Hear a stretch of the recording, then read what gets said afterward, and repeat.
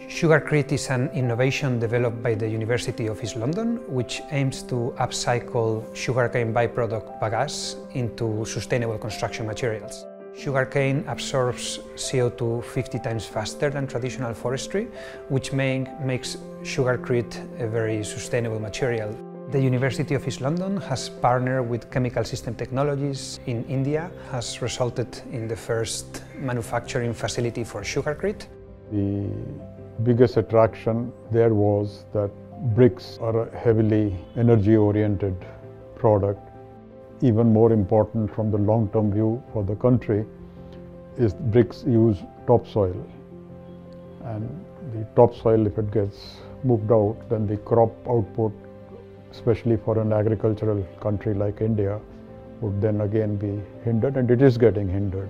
So that's why CST got interested. If these blocks can be made uh, close to the sugar mills and the village people, especially the women folk, if they can be incentivized to make these blocks, then not only it gives them additional income, but it also helps the local economy.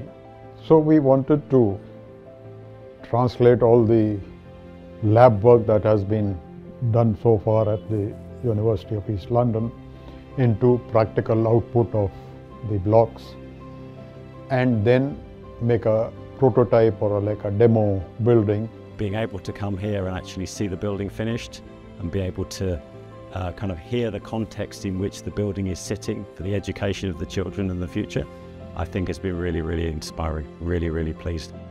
So they have so many ideas. We have concluded for the course curriculum and skill development, train the trainer TOT base, The building structure is the soundproof and other thing we have AI based lab because the building temperature is sustained.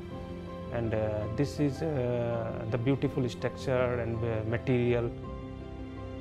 I mean, we're hoping that uh, the students themselves get a brilliant experience of using the building, that they can, through the monitoring process and the kind of the exchange of knowledge that we can offer to them, will begin to understand what it means to engage in sustainable construction. I'm really pleased the way it's turned out.